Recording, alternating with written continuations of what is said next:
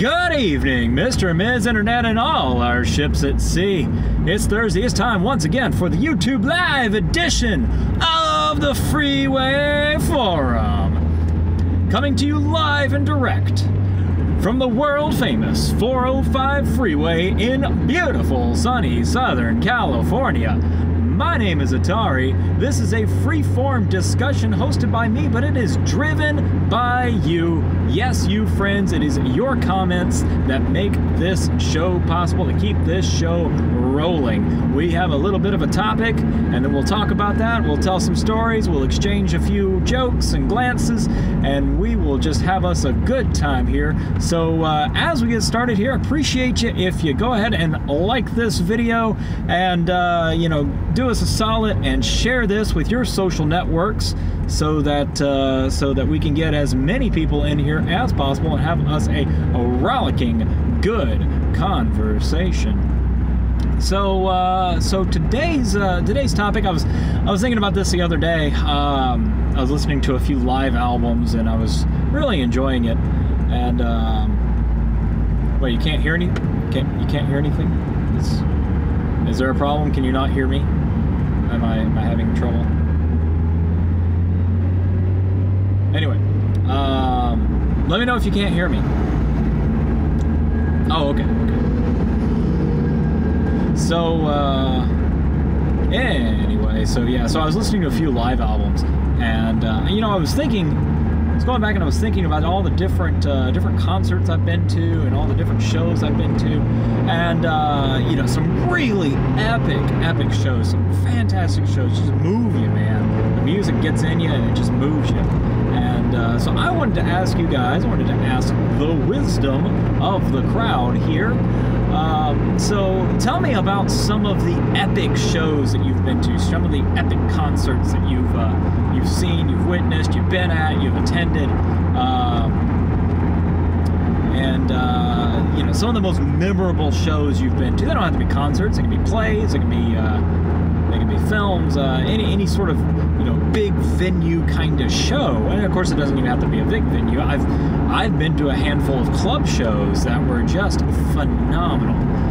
And uh, yeah, I used to be in the real big in the music scene, especially in Atlanta. I was I was kind of uh, kind of into that music scene there. I uh, you know off top of my head, uh, really enjoy. There there's a little band out of uh, little rockabilly kind of kind of third wave swing band uh, out of or not third wave. So I'm thinking third wave ska swing revival band out of Atlanta called called the Blacktop Rockets, and they used to play at the Star Bar all the time. I really enjoyed them. Always enjoyed watching their shows. Always enjoyed going down to their shows uh, whenever they were playing at the Star Bar. Incidentally. Um, uh, those of you familiar with uh, with Dennis uh, Driving Me Crazy's channel, um, he has done a, a, series on Puddles Pity Party, and um, the guy who discovered Puddles the clown, uh, Mike, Big Mike, uh, God, what's his last name? Mike.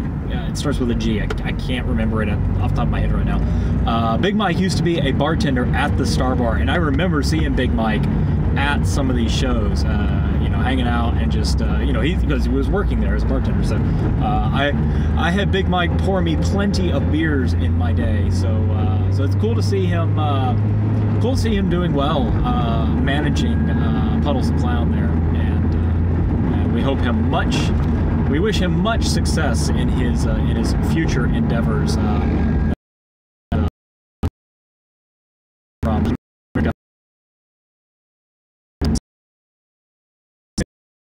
on the road and on the YouTube. So anyway, um, so the Blacktop Rockets always a lot of fun, but that's not like the most epic show I've been to.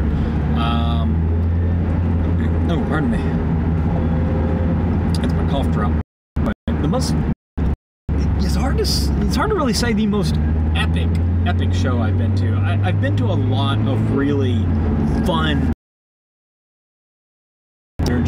Love a really good one. You know what? Um, I gotta say, the one of the most uh, one of the most interesting, one of the most epic shows I've been to in recent memory. Uh, I actually went. This was at uh, this was up at UCLA at the uh, at the I forgot the the hall where they they have the. It's basically it's an old uh, it's an old uh, performing arts hall, very old building. Well, not very old, but you know, old building.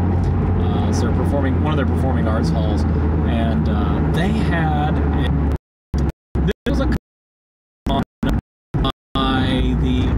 American Youth Symphony Orchestra, if I remember.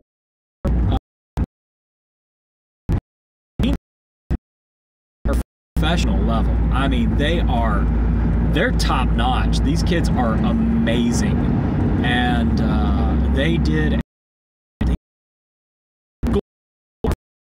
Back to the Future as the movie was playing. So was, you were watching the movie on the on the big screen there, and you had a full orchestra playing the score as the movie was going. Oh my God, it was amazing!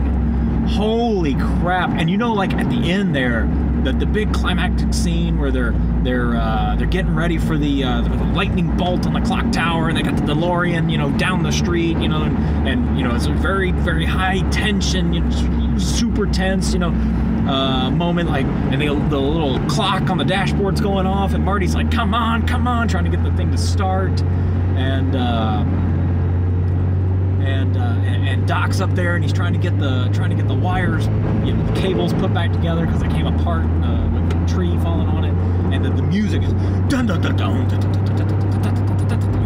Oh my God! So Alan Silvestri, just freaking phenomenal. Your speaker broke in your computer. Oh dear! Oh dear! You got to fix it so you can listen to the rest of this. But. Uh, that gum. Get quick, get some headphones. Get some headphones. Uh, anyway, so uh, oh my gosh, this concert is freaking amazing. So and and you're there and you're watching it, and uh, you know you're shifting gear. I mean, th- this was like oh my, like I seriously like. It, it was that one of those moments that clicks in your brain like holy crap uh, this is this is cinema. This is how cinema works. How the visuals and the music and the acting all come together to create this amazing thing. And it just reminded me how much I love this film and how much I I love uh, Robert Zemeckis and Steven Spielberg and uh, uh, Alan Silvestri's you know, music and, and and just the, the whole thing coming together. Uh, Bob Gale uh, all these guys, you know, coming together and just making something amazing.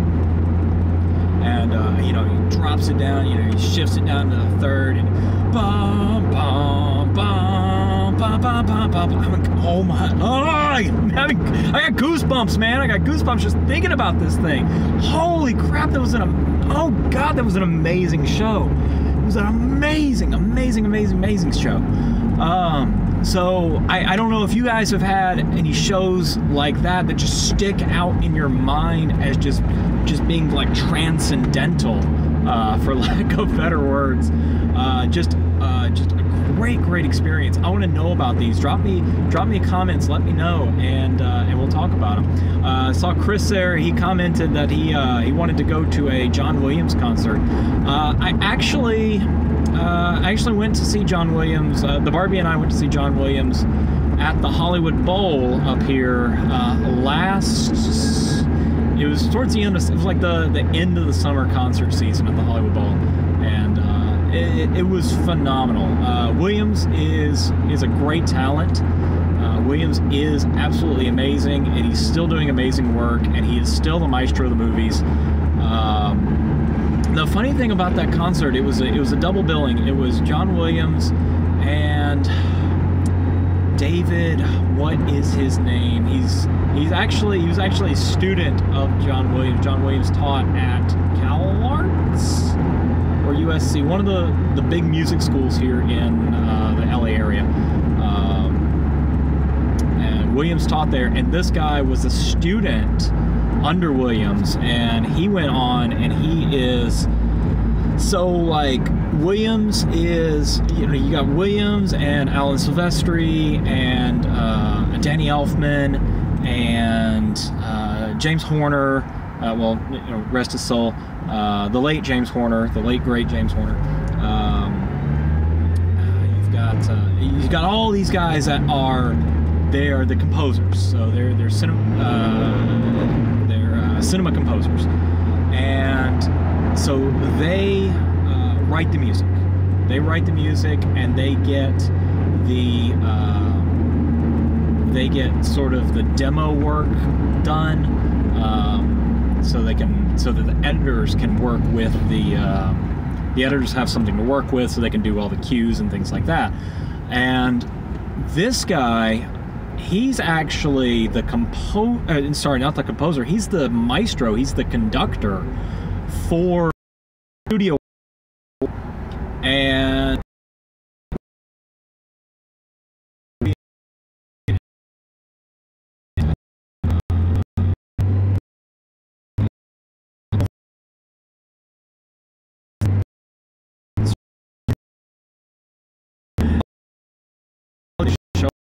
not going in there conducting the studio orchestras. That's not what they do. They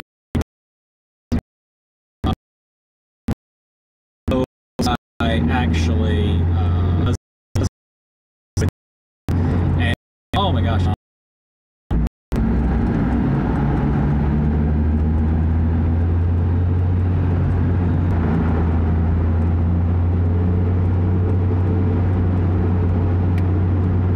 Look at a frog in my throat all of a sudden. Oh man. So they did uh, uh, Forrest Gump. They did uh, the new Star Trek movie.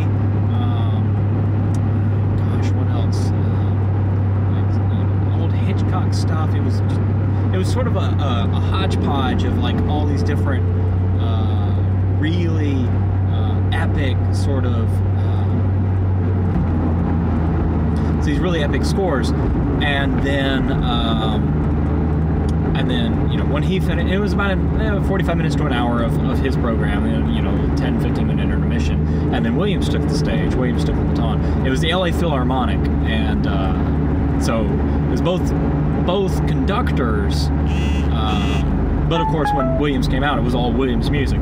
And it was i mean it was just uh, good grief man it was electric. It really was, and it was it was more an audience electricity than it was a performance electricity, which is okay. I love an electric audience. I love that. I love that feeling, you know, of being there amongst all these people and enjoying the music and just loving loving the experience. Uh, this big, big, you know, sort of community experience there. This communal experience that all these people there are having. Um, it was it was really neat. They they brought the house lights down, uh, house lights, you know, the, those big floodlights they have outside.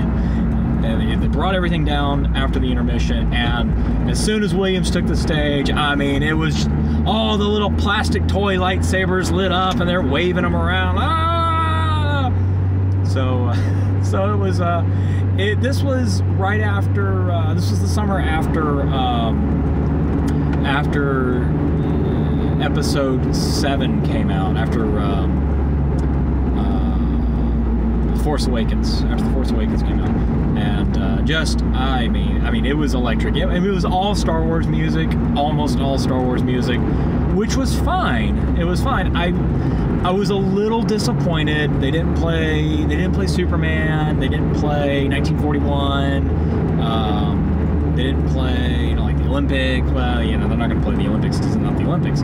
But um, uh, no Jaws, no uh, none of like his like back catalog stuff. It was all it was all Harry Potter and Star Wars, which is fine. I love the music to Harry Potter and Star Wars, but there's only so when when you're when you're a trained musician, you, you look at um, you look at Williams' music, and while it is epic music, it's all very much the same structure.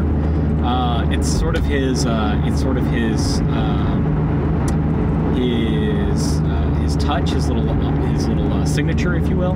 That he uses the same chord progressions, he uses the same key. Um, but I mean, it's still great. It's great music, but there's only so many times you can hear da da da da da da da da da da da You know, playing Harry Potter, or there's only so many times you can hear da da da da da da da da da da da da. You know, for Star Wars. Uh, da da.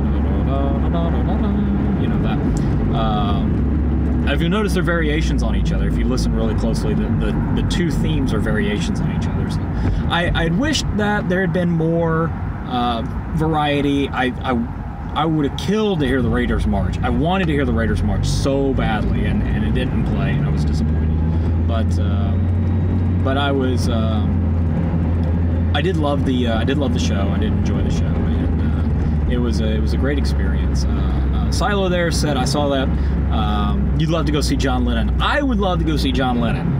Um, as long as Yoko Ono's not there. I cannot stand Yoko Ono.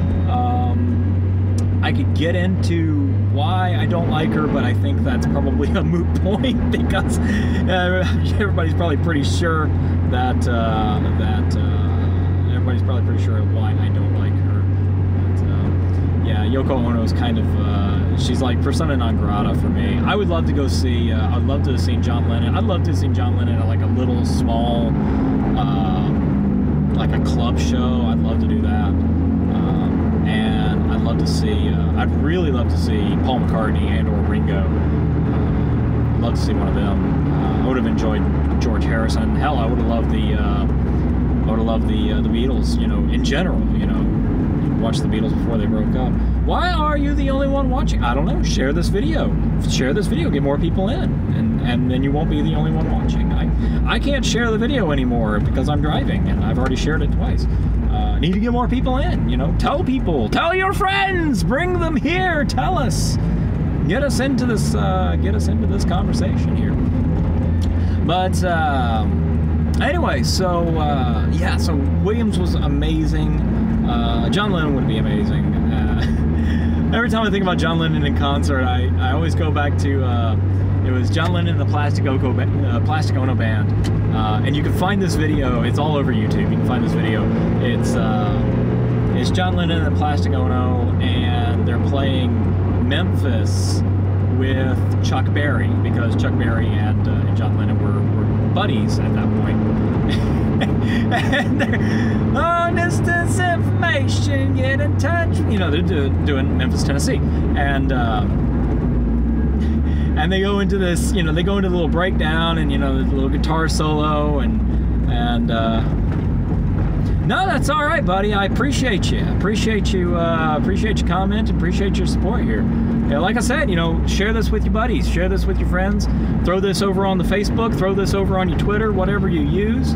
Um, I don't know if you share it on Instagram or Snapchat or whatever the kids are on these days, but uh, but I appreciate you sharing as much as you can. I appreciate your appreciate your feedback, man. I, I do I do appreciate that. I appreciate the support. Um, but uh, yeah, so uh, John Lennon and Plastic Ono and Chuck Berry, and they're they're playing, and they get to the the point where they have the little breakdown, and they're going into the guitar solos, and hang on a minute going into the guitar solos, and then all of a sudden, like Yoko Ono grabs the microphone and she goes on the microphone, and and you just see Chuck Berry go, "What the?" You know? Oh man, it's uh, it was hilarious. After this show, you can go uh, you can go look that up. Uh, look that up on on the YouTube. You can see what I'm talking about. it's Chuck Berry's eyes are just like, but. Uh, it was uh, it was hilarious. Oh man, so uh, so no, appreciate you. Got you got to support the little guy. You got to support the little guys. Um, Chris says he's not good with uh, he's not good with uh, the social media or or singers and bands. That's okay. I'm, I do not ask anybody to to be uh, to be great with it, but uh, I know that if I know everybody's got a you know everybody's got somebody they would want to see. Like everybody's, I, I, feel like everybody's got a favorite band. You know, you know, even if it's just like a little nobody band that nobody's ever heard of. Um, you know, even if it's just you know your local, uh, even if it's just your local, your local little uh, you know tailgate symphony or whatever. You know, it's all good. You know, it doesn't have to be a big epic show. It doesn't. It doesn't really have to be you know anything big and and spectacular and bombastic. You know, we're just talking about having a good time. We're talking about uh, you know just going out and experiencing uh, music in uh, in person. Uh, I saw Barbie popped in there. How you doing? Know, I'm on my way home. Anyway, uh, just got through talking about the. Um, just got through talking about the the Hollywood Bowl show that we went to and uh, Back to the Future. And uh, Barbie says she went to go see Linkin Park. Now, I was never a big Linkin Park fan, um, but I understand that a lot of people are, and a lot of people were very upset uh, with uh, with with uh, Chester Chester Bennington. Is that his name? Uh, very upset with his his untimely passing. Um, Barbie says the she's talking about the uh, the uh, the Hollywood Bowl show. She's like, oh yeah, the one where I got really drunk and I couldn't hear anything. yes, yes, Barbie got Barbie got wine drunk at that show because you. The cool thing about the Hollywood Bowl is you can bring in uh, picnic baskets and you can bring in alcohol, and they they let you bring it in. So we had like we had two bottles of wine and, uh, and some like cheese and uh, some meats and crackers and things like that, and it was yes, it was amazing. It was it was awesome. Yeah, we had a we had a bottle of wine each. It was great. And the beauty of it was we took a shuttle bus. We took a shuttle from Torrance all the way up to Hollywood. So we had plenty of time, plenty of time to sober up on the way home. It was great. Sit back and let somebody else do the driving. It was fantastic, fantastic. So, uh, so we've heard about Linkin Park. We were talking about uh, John Williams. Uh, John Williams, uh, you know, Back to the Future live concert, the uh, John Lennon, the Beatles. Yeah, I'm trying to think what other what other really awesome concerts. Uh, I I've been speaking of club shows. The Barbie, that is my uh, that is my better half right there, my better three quarters. And uh, yeah, she uh, she has a uh, she has a YouTube channel as well, Barbie's Life. Uh, she is the Barbie, yes. uh, her YouTube channel is Barbie's Life, uh, where she does uh, she does more vloggy kind of stuff. Uh, she's a fashion uh, retailer. She sells women's clothing, direct sales women's clothing. So she does a lot of that kind of stuff, and and she has videos, you know, travel videos and and things like that. Um, Chris, the Back to the Future live concert was absolutely amazing. There, there is a uh, there's a group that does it. Hi, Silo. I see you. I, I know. I'm, I was answering your question. She was answering your question. The um, there there's a group that does the they I forgot um, I forgot the name that, of the uh, the name of the, the production company that does this, but they, they it's a touring group. They they do. Um, uh, they do different uh, different movies and different scores with different orchestras all over the country, and you know, East Coast, West Coast, all over the place. So if uh, if you if you can, I mean, you can do a Google search and find it. Um, you know, like movie, music and movies or something like that. Um, so you can find it and uh, and find one near you. Uh, it doesn't matter what movie they're showing. If you can find one near you take my word for it. Go and see it. Go go take the kids. Uh, it, it is it is a phenomenal experience, and you will not regret it. Uh, especially if it's a movie that you really like. Uh, Back to the Future just happens to be like one of my favorite movies ever. So uh, so yeah. Uh, yes, definitely definitely Google it. Uh, uh, Robert Wagner. Robert Wagner. What does Robert Wagner do? I can't. I can't place Robert Wagner off top of my head, and this is one of those moments where I, I am ashamed to say I'm a music guy, but I, I don't know Robert Wagner. Um, so you're gonna have to enlighten me a little bit, maybe hum a few bars or something.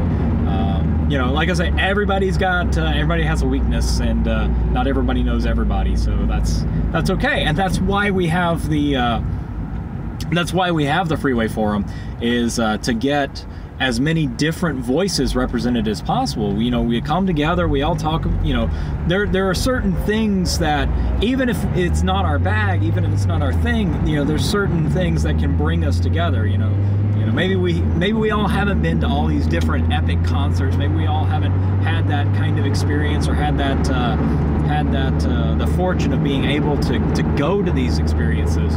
But uh, but to, to sit around and talk about the the types of experiences we like, or things that would be really cool, and it motivates us and it gets us, uh, you know, it gets us kind of up and thinking about things and, and wanting to experience new things and try stuff out and uh, and learn from each other. We kind of find out things, you know, from each other. We find out about oh Robert Wagner, oh the actor Robert Wagner.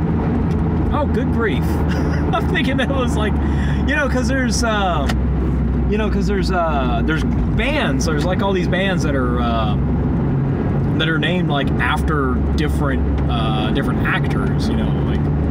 Uh, so I was thinking it was a band called Robert Wagner. Um, yeah, that would be cool to see, like a show of, you know, like if he was doing like a one man show or something like that. That would be kind of cool to see.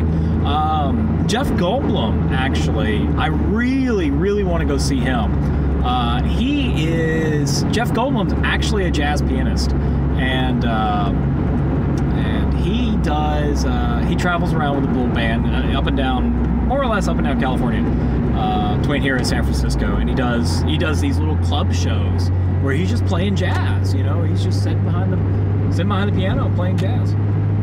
Uh, Goldblum's uh, you talking about Goldblum still doing comedy? I, I don't know. I didn't know he did comedy. He just He's Jeff Goldblum. the man is comedy. What are you talking about? Um, so so that would be a uh, that'd be kind of cool to go see. Yeah, the other. I don't know which bald guy you're talking about. Uh, which bald guy are you talking about, Barbie?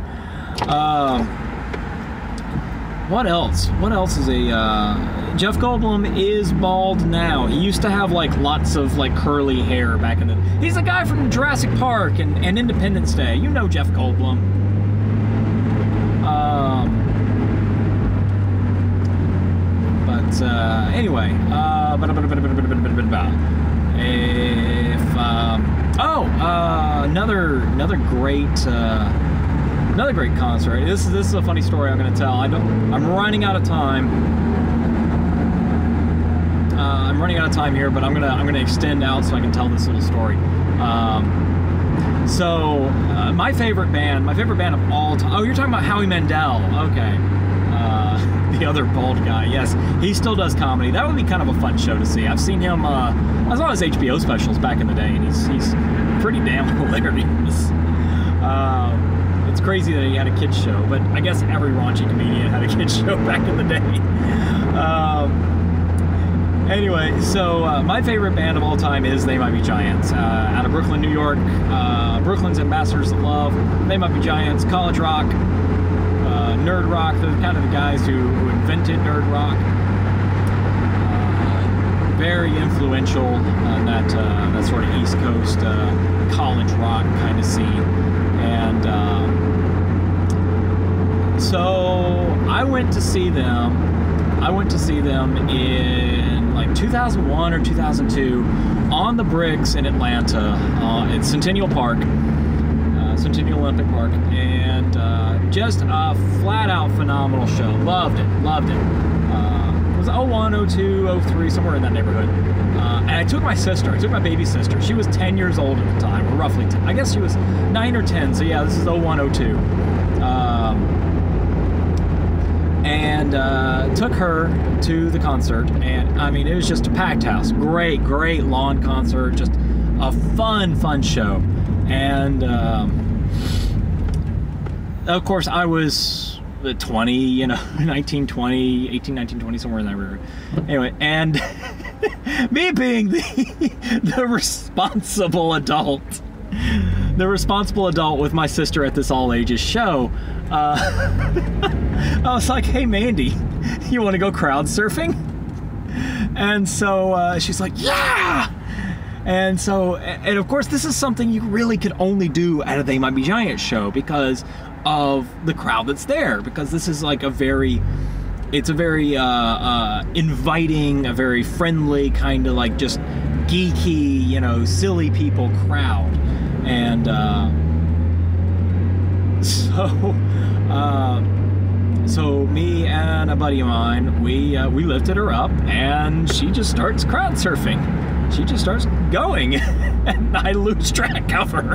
And i'm like holy crap where'd she go? Oh oh there she is. Like way over there. Like way up down near the stage. And um, I see uh, John Flansburgh. He's the guitarist. He's the he's got the goatee and everything now. Uh, the guy with the glasses. Um, he's up there and he's he's playing guitar and he's singing and he's he kind of looks out of the crowd and he's like, wait, is that a little kid crowd surfing?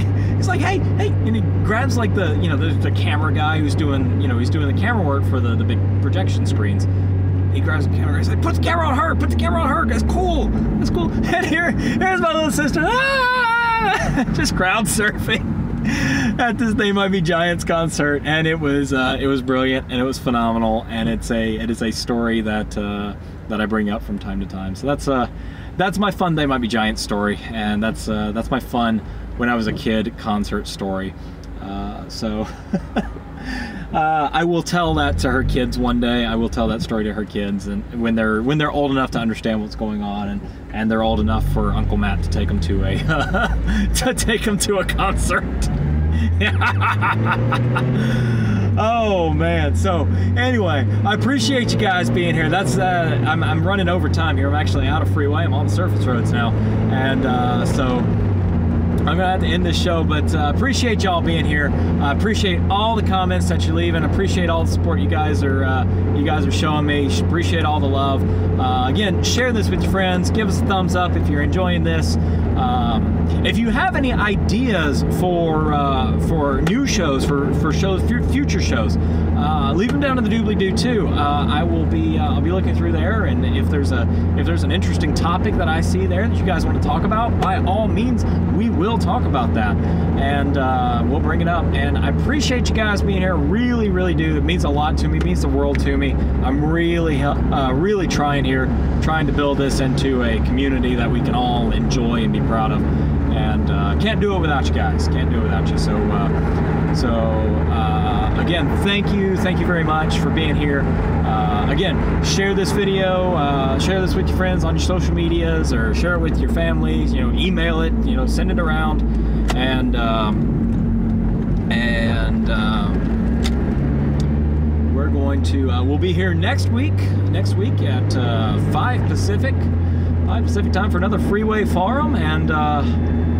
again, uh, thank you all for being here, and until next time, tally ho, y'all.